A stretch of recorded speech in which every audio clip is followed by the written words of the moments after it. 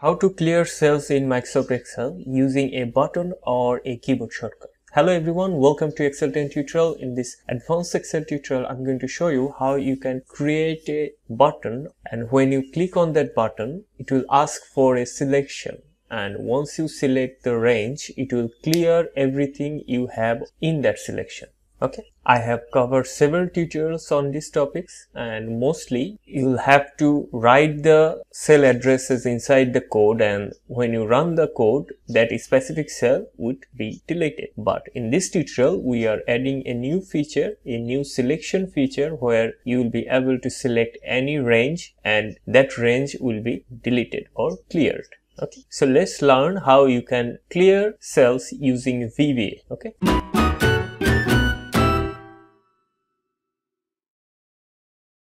First click on the developer tab. If you don't have the developer tab here, please check out this tutorial and you will learn how you can add developer tab on your ribbon. Once you have added your developer tab here, click on Visual Basic, click Insert and click Module. Now you'll have to write a simple code which I have already written. So this is the code. First we set a range where it will ask for the input box and then we clear the cell. So this is the code and once you have written the code, close the VBA. Okay. Now let's check if our code works. Click on the macro, run the code. It will asking for a selection. So I am selecting this range and if I click OK, as you can see that range has been removed. So our code is working perfectly. Now we need to create a button. Let's create a button here. Click on insert, click on shapes select a shape. And let's write something here.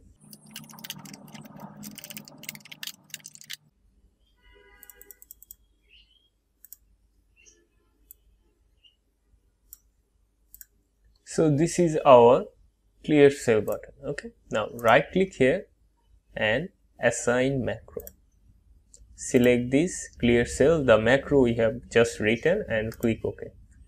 Click anywhere on your document. Now if i click here click on this button here it will asking for that range. If i select this and click ok you can see that selection has been cleared.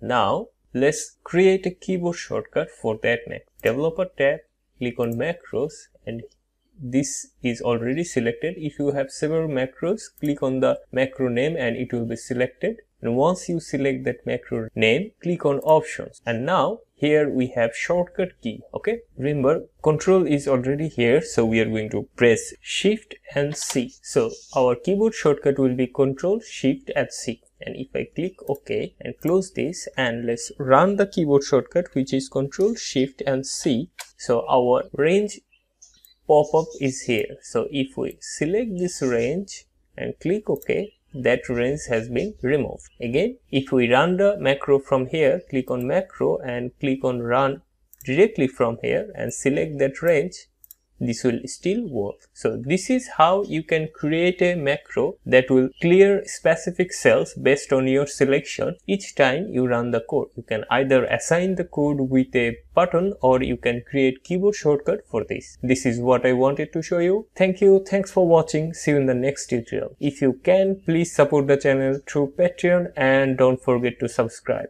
and if you need the code please check the link in the description. Once you click on that link you will be redirected to the code page. Thank you. Thanks for watching